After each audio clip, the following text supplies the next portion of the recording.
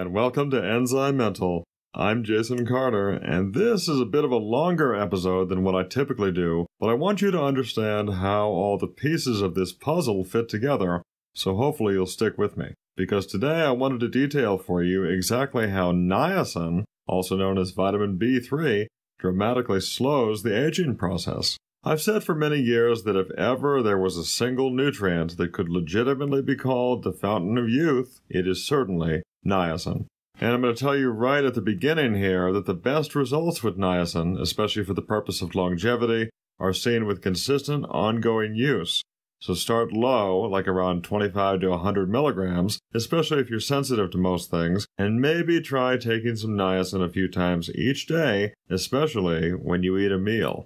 Original flushing niacin is already well known as the best natural compound for boosting HDL cholesterol, or high density lipoprotein cholesterol, commonly referred to as the good cholesterol. As we know, cholesterol has been horribly misunderstood and deliberately misrepresented for far too long. As one example of this, just look at how doctors still relentlessly promote the widespread and continued use of statin drugs even though any supposed benefits of statins have been thoroughly discredited by their horrendous and literally degrading side effects. Cholesterol is in fact essential for muscle and brain vitality and also immune function, and niacin optimizes our body's production of cholesterol. What we think of as bad cholesterol, known as LDL or low density lipoprotein, is better defined as oxidized cholesterol, and this is the type of cholesterol we see associated with the accumulation of plaque in the arteries. Unfortunately, LDL cholesterol is often billboarded to represent all cholesterol. This oxidized cholesterol is highly inflammatory, while the protective HDL cholesterol, which niacin optimizes, is a powerful anti inflammatory that is essential for scar tissue development, wound repair, and overall healing.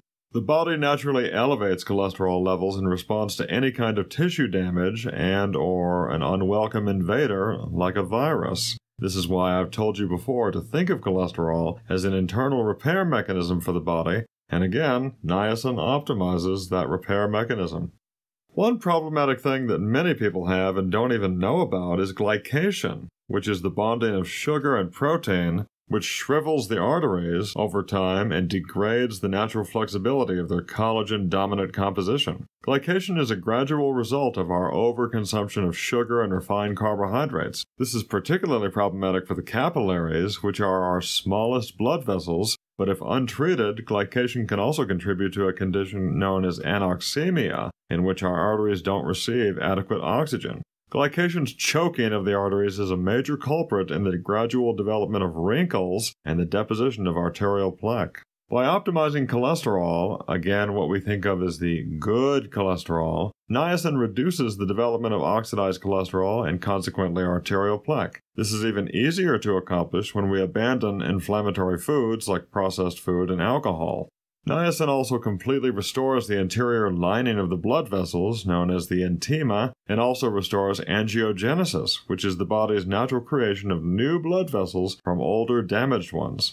These factors alone provide potent defense against heart disease, which is still today trumpeted as a primary threat to older people. Heart disease is an umbrella term for several conditions, especially coronary artery disease, that are primarily concerned with an impaired blood flow to the heart something that can certainly happen if your arteries and capillaries are corroded with glycation and not receiving proper restorative maintenance.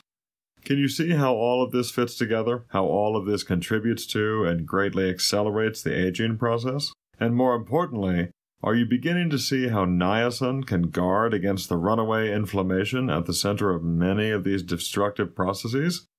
Niacin, as you know, is the primary precursor for nicotinamide adenine dinucleotide, also known as NAD. And NAD is the fuel for the metabolic proteins called sirtuins that repair DNA, mitochondria, and telomeres, and this NAD backed restoration is itself central to slowing the aging process to a crawl. Another way to express that, of course, is to say that a deficiency of NAD can and will accelerate aging dramatically, and there are countless challenges we face every day that tax and drain our NAD. Our high stress lifestyle, abundantly inflammatory diet, environmental toxins, smoking, alcohol, and a deficiency of cholesterol because of constant statin use are just some of them. The more damage you have in the body, the more NAD you're going to need to repair it. So it's worth repeating here that niacin is the primary precursor to NAD, and optimizing NAD is what niacin is utilized for first. Maintaining a robust immune system is also essential to longevity, and as I've told you before, niacin naturally elevates some of our key white blood cells like basophils and neutrophils. These are critical for defending the body against parasites, fungus, and also viruses. Our basophils in particular naturally contain heparin, a compound essential for wound repair and also avoiding blood clots. Niacin also decimates triglyceride levels and also levels of the inflammatory markers C reactive protein and lipoprotein A. High levels of lipoprotein A in particular are a major risk factor for heart disease. Niacin also guards against Wallerian degeneration, or the breakdown of a nerve axon that can result after a heart attack, tumor, or head injury.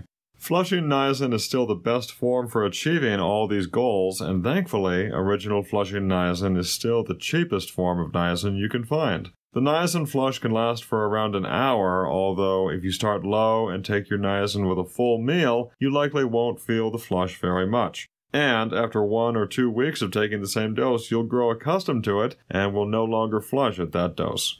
So hopefully now you can see the whole picture of how and why niacin, specifically original flushing niacin, slows the aging process as part of a daily regimen that also includes regular exercise and a diet that deliberately avoids sugar and processed foods.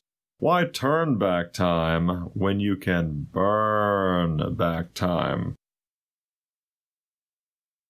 Thanks for watching. I'm Jason Carter, and I'll see you next time on Enzymental. Stay healthy.